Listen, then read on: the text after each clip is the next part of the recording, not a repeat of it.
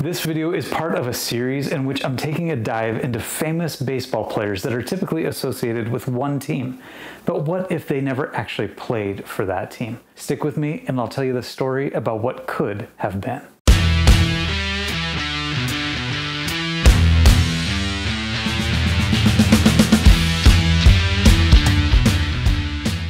Is going on everybody? Thanks for joining me on my channel, Brutus on Baseball once again. I'm continuing in my video series again today all about baseball players that are associated with one primary team.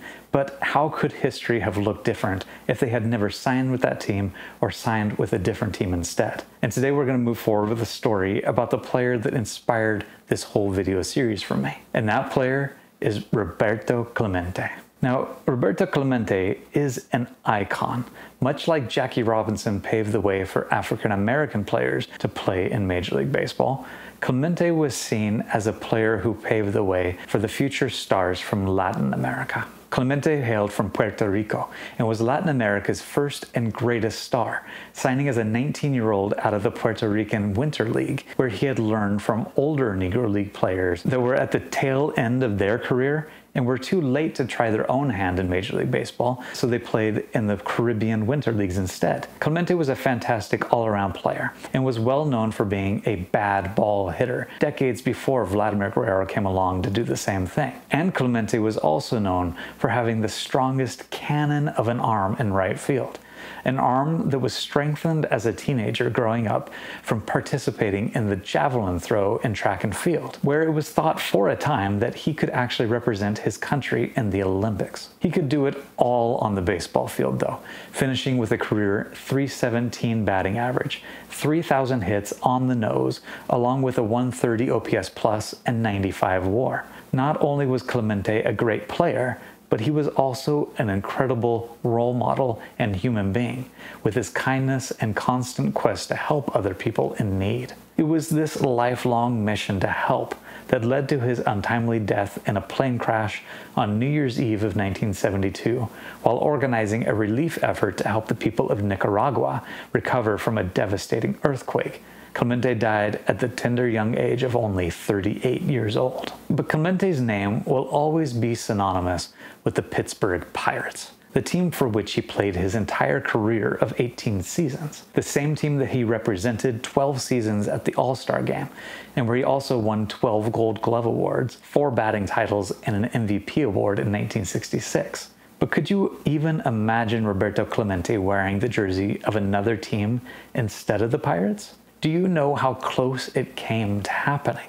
You see, it wasn't the Pirates that had signed Clemente out of the Puerto Rican League. It was the Brooklyn Dodgers who beat out the New York Giants and Milwaukee Braves to sign him. Clemente was excited to sign with the Dodgers too, even though the Braves had offered him more money because of the Puerto Rican population he knew would be in New York. The Dodgers signed him for a $5,000 salary and a $10,000 signing bonus. And why that was so important was because the rules at the time required any player paid more than $4,000 to be kept on the major league roster, or his team would risk losing him in a draft that was held every offseason for players that were highly paid but couldn't find a spot on the team's major league roster. That meant the Dodgers could either put Clemente in Brooklyn, where he would likely ride the pine for the first two years, or they could send him to the minor leagues, where he was at risk of being drafted by another team the next offseason. The Dodgers chose to send Clemente to play in Montreal the same place where they had sent Jackie Robinson less than a decade earlier, and by doing so, risking the chance of losing Clemente. There's a lot of rumors about Clemente's time in Montreal. Rumors that the Dodgers sent him down to begin with at the advice of Jackie Robinson himself, who allegedly said that bringing up another black ball player to replace a less talented white player could hurt the morale of the team. Also, rumors that the Dodgers played Clemente only sparingly while in Montreal, trying to hide him from other teams, and were therefore less likely to draft him at the end of the season. But when he did play, Clemente struggled, which makes sense for a 19 year old playing in his first professional season. And it was said that his strike zone judgment was so poor that he would swing wildly at pitches far out of the strike zone, and the opposing pitchers would regularly make him look foolish. Whatever was the truth, that Clemente was being hidden or just progressed at his own pace, he turned a corner in late July of that season and found his groove, making an impact with his bat, his arm, and his glove through the final month of the 1954 season. By the end of the season, it was obvious to the Dodgers brass that several other teams were interested in drafting Clemente.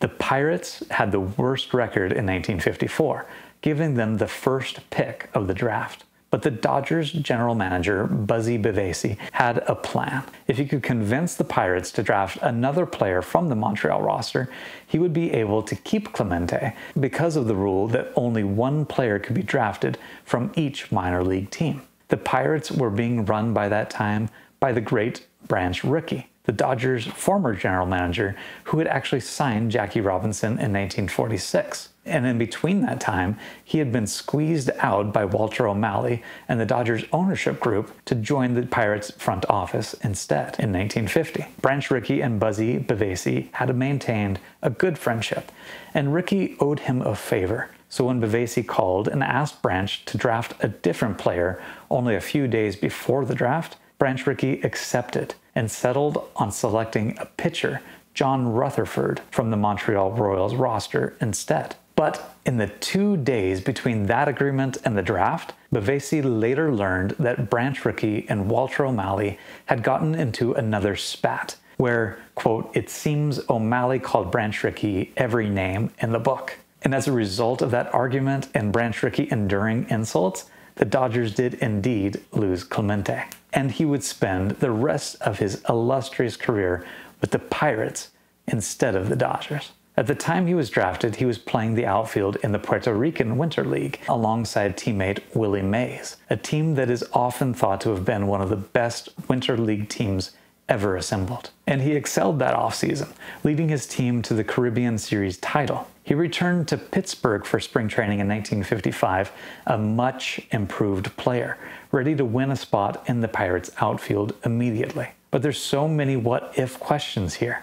What if the Dodgers had decided to keep Clemente on the Brooklyn roster those two seasons instead of sending him to Montreal? Would he still have advanced as a player to become the star that he did? I think so, because so much of his growth seems to have happened in the Winter League instead. But what if O'Malley hadn't screwed things up by pissing Branch Rickey off so much that he abandoned drafting John Rutherford and grabbed Clemente instead? Can you imagine having Clemente on those Dodger rosters of the 1960s? And from our last episode, I covered just how close Willie Mays may have been to being a Dodger. So, what if Roberto Clemente and Willie Mays had formed the Dodger outfield together throughout the 1960s? The Dodgers of the 60s were a great team, but one thing they surely could have used more of was offensive production in the outfield. The Dodgers won four World Series titles between 1955 and 1972, the years that Clemente played. But would anyone have been able to stop them from winning even more